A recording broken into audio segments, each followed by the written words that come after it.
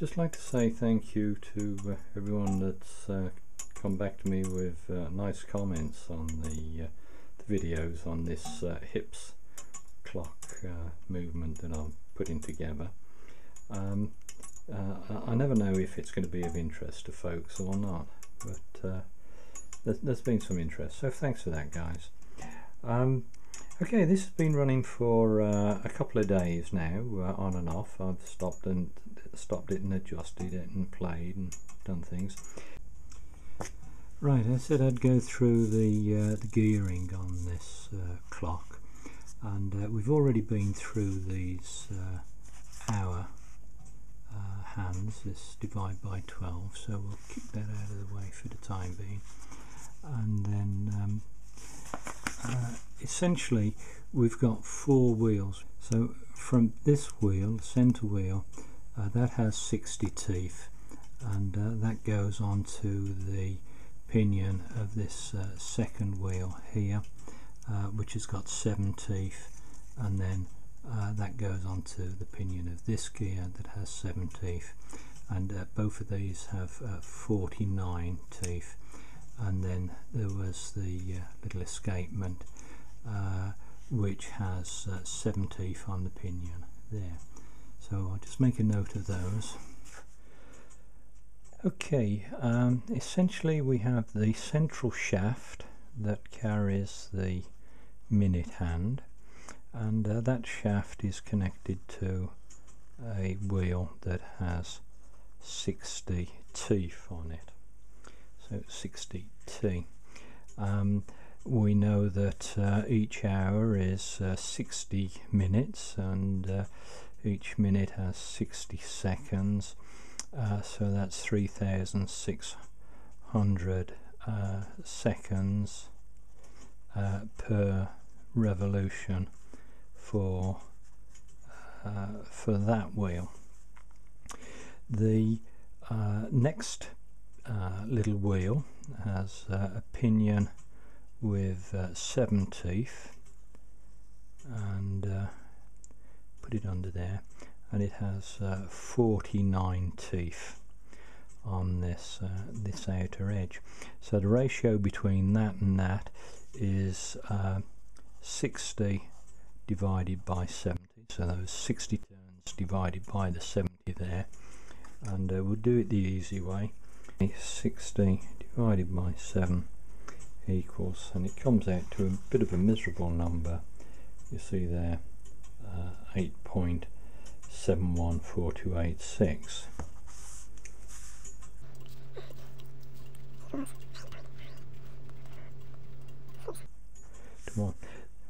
so this wheel has to go around eight and a half times uh, per hour so for this to go around once that's got to go round uh, eight and a half times. The next uh, little pinion again has uh, seven teeth. And uh, again its uh, wheel has 49 so again uh, the ratio here is 49 divided by 7 so that's 7 so now we've got um, 7 to 1 uh, for these uh, ratio between there. So this has got to go around seven times in order to drive that round once.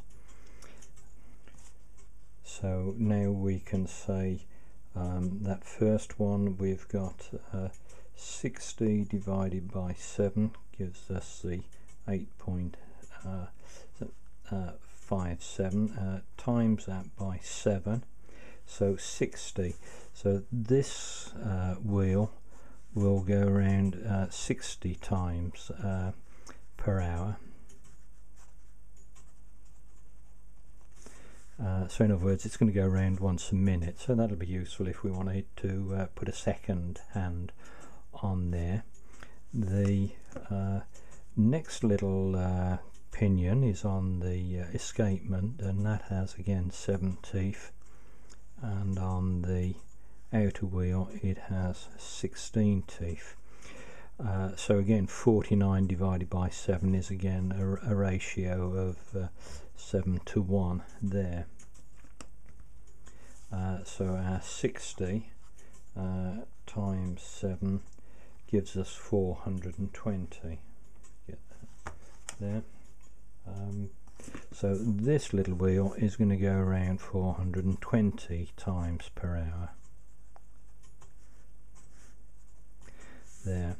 And um, if we uh, we know there are 16 teeth on there so 420 times 16 equals that's um, uh, 6720 so uh, 6720 uh, impulses or um, uh, oscillations or vibrations per hour.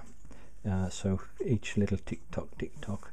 Um, and let's just uh, let's just check that um, and say 3600 divided by the recall equals 5.3 yeah that's the uh, so each oscillation originally uh, would have been 0.5357 uh, of a second.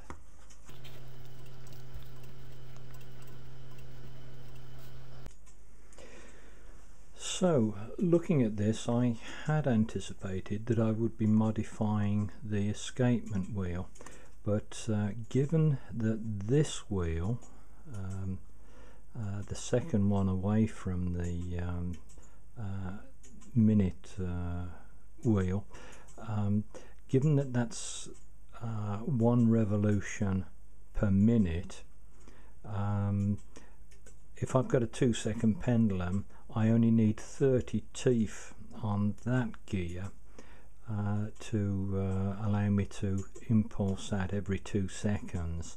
At the moment it's got 49 teeth on it. So I think what I'll do is I will take those 49 teeth off and uh, cut in uh, 30 teeth uh, in there.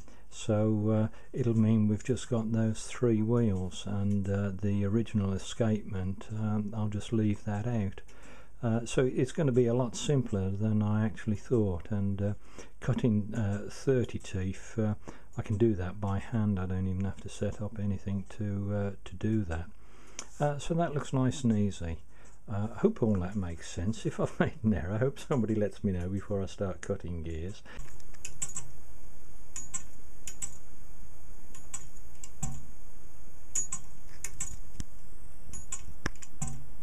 Hope you found it interesting. Uh, thanks for watching.